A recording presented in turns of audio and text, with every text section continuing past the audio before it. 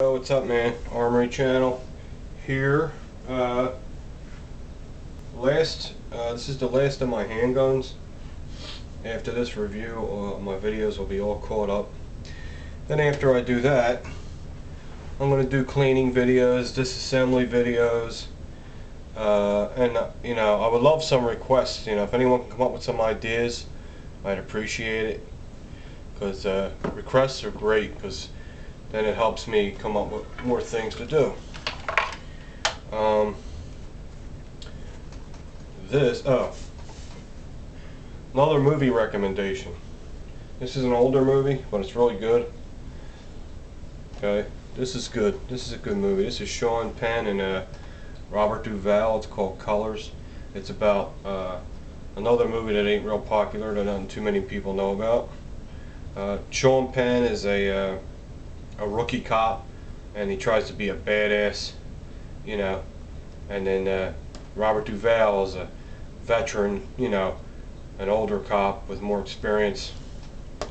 And he's trying to train Sean Penn, but Sean Penn just wants to kick everyone's ass. So he starts uh, having the gangs of LA start to hate him and they're out for him. It's good, man. A lot of nice guns, a lot of cool guns are in it. Uh, it's funny, it's funny. If you look at the movie, uh, the cops are carrying big fucking revolvers. How awkward is that? If you're a cop to carry a big revolver. Uh, the only automatics you see really are, are, the Beretta, I think, and you'll see a couple other ones. Uh, I don't know if Glocks were even out yet when this movie came out. 1988. Yeah, Glocks were real new to the world, so you know, I don't think you're going to see any Glocks in the movie. but pick this up, check it out you know, there's nothing on TV, which there never is. This is my Ruger Super Redhawk Alaskan. Uh, it's a 454 caliber. Also shoots 45 long Colt. This is a hungry man. This is a big motherfucker. Uh, uh, do I use it for home protection? Yeah, why not? Why? Because it shoots 45 long Colt and 45 long Colt is a, is a fine round for home protection. There's nothing wrong with that. Would I use a 454 for home protection? Fuck no. Not around here. Uh, if I lived out in a fucking barn or out in the fucking woods, yeah. Yeah, I'd use a 454 for home protection. Why not? But I got neighbors and shit, and a 454 is very, very powerful round. Uh, we're going to check it for safety. We're going to open uh, the loading gate here. And it's empty. Uh, how's the machine work quality? It's good. It's good. Is it excellent? Well, I don't know. Almost. Almost. You know, I love Rugers, but when it comes to when it comes to revolvers, when it comes to revolvers, as far as machining, machine work, I have to give it to Smith & Wesson. Smith & Wesson revolvers, the machine work is excellent. Excellent. Uh, the machine work on this gun is good. It's good. Is it awesome? No. It's not awesome. But it's good. It's not bad. It's not bad. Uh, how can you tell? Well, easy. Just look at the cutouts. You know, I'm looking at the cutout, and right here, there's something happening here. It's not perfect, you know. And here, here this area here, uh, this little notch, so the so the uh, cylinder can pass through to lock up. This cutout here, it's a little rough looking. Um, it's brushed stainless steel, so you can see all the brush marks, which it's supposed to be like that. Uh, the stamping uh, the top of the the top of the paragraph is uh, more shallow than the bottom of the paragraph. You know, if you want to get real technical and you're a real gun freak like me, but it's beautiful. I mean, look at it. It is a Ruger. Ruger makes Ruger makes nice firearms, and uh, machine works beautiful here on the muzzle. Excellent but there's parts of it where it isn't. Uh, I like the grip. It's real big. It should be. and uh, that's what I like. Uh, that's why I took it over to Smith Wesson because it had a bigger grip.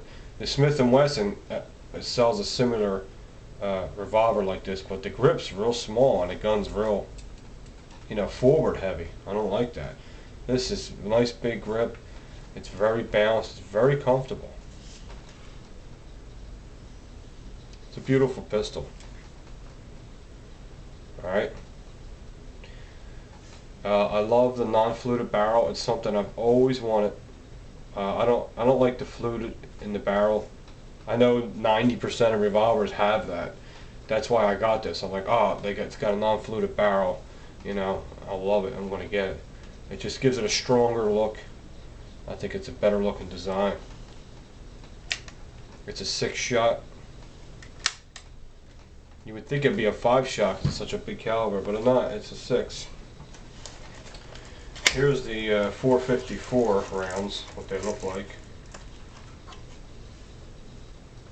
See? Alright, and I'll show you the uh, 45 long Colt next to that. Now I can't use uh, I can't use this for home protection yet because I don't have 45 long Colt hollow points. They're just regular, you know, lead bullets. Right here, see the difference in, in the uh, length?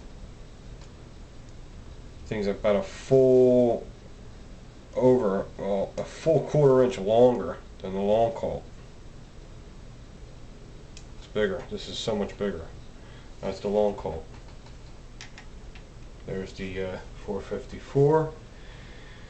And uh, the 454, uh, this is a 240 grain bullet here okay? And the uh, 45 long Colt is uh, 250 grain. And this is probably this is probably lighter because it's hollowed out. This is a solid bullet here, okay? And this is hollowed out and tapered. But the velocity is a lot more powerful. See, it's, it's longer, that means it has more gunpowder in it. That means it shoots further and more and uh, faster, more powerful. That's for hunting bear and shit like that. That's what that shit's for. But like I said, if you live in an open range, you know, you can use it for uh, home protection. Definitely. Uh, did I show you the movie? I showed you the movie. But that's all you can say. I mean, revolvers. I mean, that's why I don't have a lot of revolvers. They're they're not. They're, they're really not much fun until you shoot them. They're fun to shoot, but they're not fun to do reviews on. Look, I'm done already. What else can I tell you about it? It has it has a rear adjustable sight. It has a front fixed sight. Now fixed means it's permanent. Fixed means it's on there permanently. You can't remove it. You can't replace it. Uh, you can't adjust it. It's just there. It's on there, and that's the end of it. Okay. Now the rear sight is adjustable. It can go up and down, side to side. Uh, it has nice checkering on the hammer okay it has a safety plate there in case the gun falls down and hits the hammer by accident which I don't like because the thing sounds like a fucking maraca you know but you know it's all these fucking safety fucks man that they make them do all this crazy shit to these guns you know all these it's, it's, it's all this overkill and unnecessary dumb safety shit you know what I mean I just think it is. Uh, I don't like that. I don't like that that plate in there. See it? See it? You hear it? Who the what the hell? It's just this is a nine hundred dollar gun. No one wants to hear that.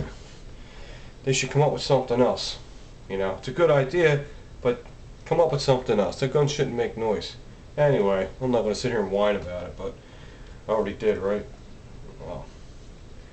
Ruger Alaskan 454 big hungry boy I call it Hellboy because it's huge big powerful uh, revolver it's the only revolver I'll get it's probably the only revolver I'll ever have alright man